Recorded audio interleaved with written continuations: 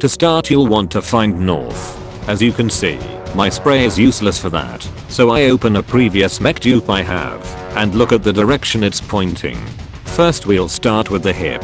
You'll want a large hip prop, larger than the distance from the left side of the left leg to the right side of the right leg. This will act as the base plate of the mech. Now let's add on some legs. I'll start with a lower hip block to help position the legs. After that I'll place the leg segments how I want it to look. Do not add any constraints at this point, just position the pieces.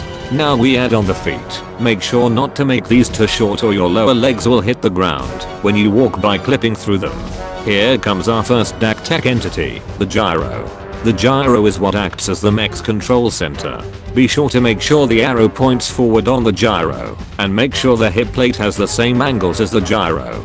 DakTek entities are parentable, so we create a wire gate with the parent option box ticked and the weld option box not ticked, then parent the gyro to the gate, which is parented to the base plate. Now using advanced ball socket we create our constraints, starting with the upper leg to the hip, Make sure to select the pivot point of your leg when you place the constraint. I'm using minus 150 to 150 x axis rotation and minus 0.1 to 0.1 on the y and z axis.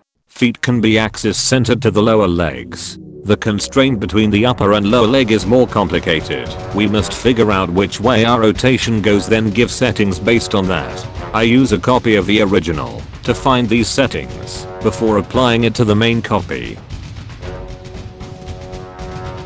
After the constraints are all set we should test to see if the mech skeleton acts as a ragdoll. Make sure to no collide feet to lower legs and lower legs to upper legs and upper legs to hip.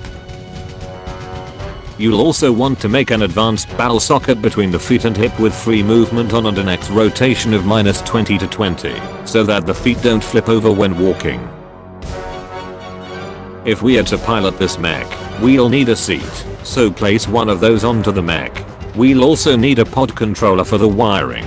Link the controller to the chair. Now we wire the gyro to the controller, pick the controls you want, and wire to the proper entities. You won't have the hitboxes at this time, so let's place them now.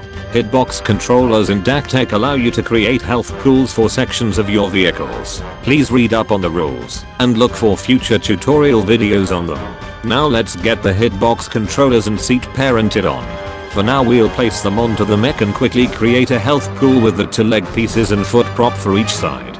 We'll need a reactor to power the mech. Just create one and parent it onto the mech. Now back to the gyro. We must wire the hitbox inputs to the hitboxes and link the gyro to the engine with a linker tool.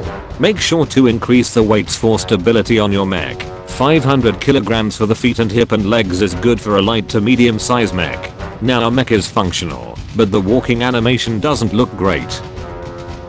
While looking at the gyro open the C menu and select edit properties. Using this menu we can edit our settings as we wish.